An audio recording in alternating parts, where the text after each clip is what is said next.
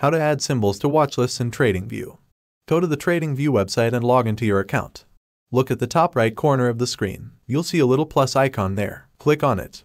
A menu will pop up with different options. In the search bar, start typing the symbol you want to add to your watch list. For example, if you're interested in Apple, start typing AAPL.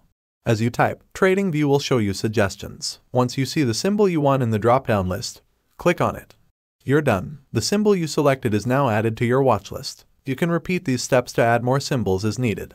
And there you have it. Adding symbols to your watch list TradingView is a breeze. Remember, keeping track of your favorite symbols is crucial for effective trading analysis. If you found this tutorial helpful, don't forget to like, share, and subscribe for more TradingView tips and tricks. Happy trading!